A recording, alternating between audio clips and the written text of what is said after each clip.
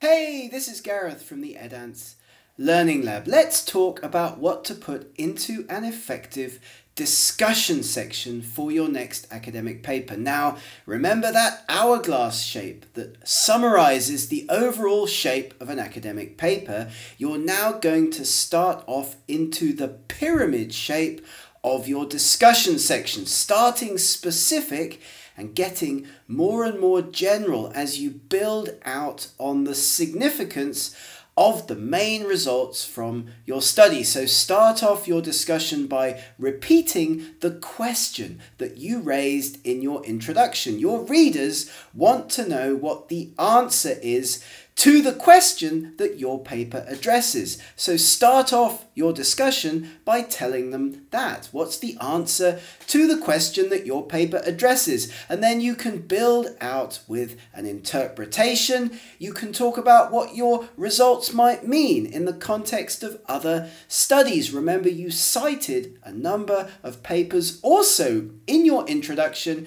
to give the state of the art around your particular research question. So discuss your results, interpret your results. That's the same as discussion. Interpretation and discussion are synonyms in English, really. So talk about what your study means, the interpretations, and build out towards the wider significance of your results. And don't forget that if you think of new avenues, new directions for your research, talk about them in your discussion. So you're interpreting your results you're putting your results in context and you're also giving your readers avenues and future directions for further work. So you want people to cite you. If you think of avenues for further research, put them into your discussion so people reading your paper have to cite you in the future. Thanks for listening. I hope this video has given you some helpful ideas for writing an effective discussion